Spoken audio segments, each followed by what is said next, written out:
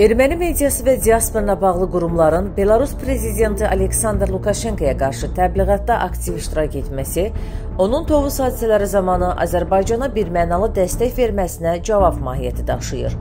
Bu sözləri Axaraza, Qlobal və Regional Təhlükəsizlik Problemləri Mərkəzinin rəhbəri politoloq Qabil Hüseynli erməni mediası və erməni diaspor təşkilatlarına bağlı qurumların Belarusda baş verən son hadisələrdən suyu istifadə edərək Lukashenkoya qarşı geniş təbliğat aparmasını şərh edərkən deyib. Politoloq bildirib ki, Amerika Birləşmiş Ştatları Nümayəndələr Palatasının Kəşfiyyat Komitəsinin sədri Adam Şifin də Belarusa qarşı mövqe tutmasını təsadüfi hesab etməyib. O bildirib ki, Adam Şif ermənipərəst konqresmen və erməni diasporunun iradəsini ifadə edən şəxs kimi tanınır. Yəni bu onun deyil birbaşa havadarlıq etdiyi ermənilərin mövqeyidir. Səbəb isə bəllidir.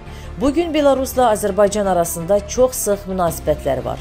İki ölkə prezidenti arasında uğurlu diplomatik və dostluq münasibətləri də göz qabağındadır.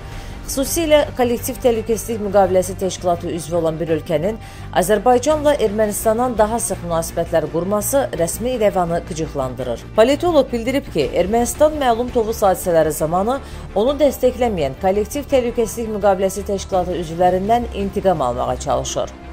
Ermənistan silahlı qüvvələrinin Tovuza hücum etməsi rəsmi İrəvan üçün sözün əsl mənasında diplomatik məğlubiyyət oldu. Çünki düşmən ölkə bu hücumlar zamanı ilk növbədə kollektiv təhlükəsizlik müqaviləsi təşkilatı ölkələrinin dəstəyinə ümid edirdi. Lakin bu gözləntilər özünü doğrultmadı.